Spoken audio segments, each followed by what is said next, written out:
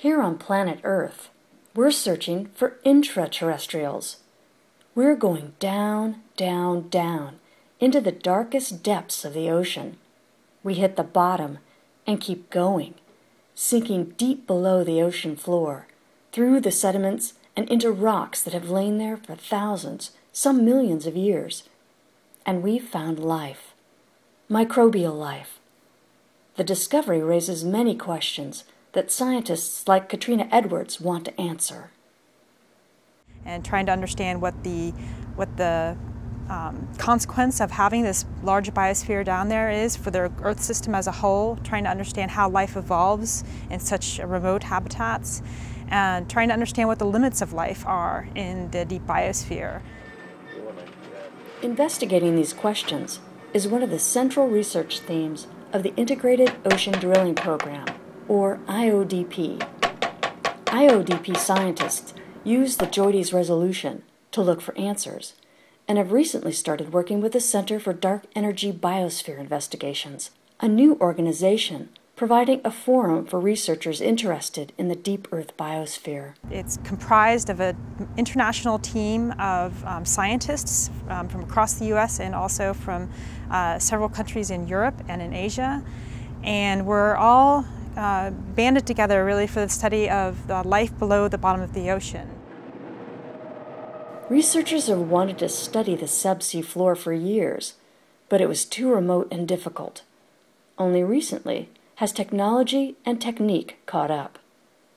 There's a confluence of knowledge, of technology, um, of capabilities within the community. Uh, we, we simply weren't here 10 or 15 years ago in terms of our ability to, you know, to manipulate things like we're doing out here with Jason, or our ability to put, in, to put observatories in like we've done with, with the drill ship. And um, the revolution in um, biotechnology and in the ability to do genetic analyses on small amounts of material, this is all relatively new. So yeah, it, it's the best time right now that we've ever had. The JOIDES resolution drills a hole into the seafloor. A small observatory, called a cork, is lowered into and seals the hole. Once established, it creates an underwater laboratory uh, they're observatories. They allow us to put experiments in the ground um, in different conditions and uh, see how, um, well, conduct different experiments. These corks contain numerous bays for attaching measuring instruments and sampling tools. Later, researchers can return to these sites with other ships, using remotely operated vehicles like Jason or manned submersibles like Alvin. They download the data and collect samples that they can analyze back in their labs.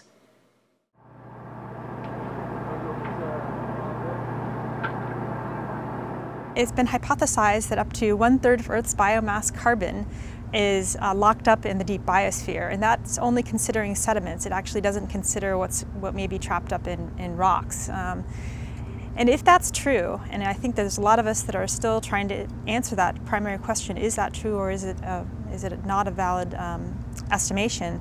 Um, regardless of, of, that, it's, it's important to recognize that that is a living biomass and it's interacting with the world around it. And so understanding what the consequence of that is fundamentally important to understanding, for example, the global carbon cycle. It'd be great if people knew that there was life in the subsurface, you know. 20 years ago, people didn't know what an El, El Nino is.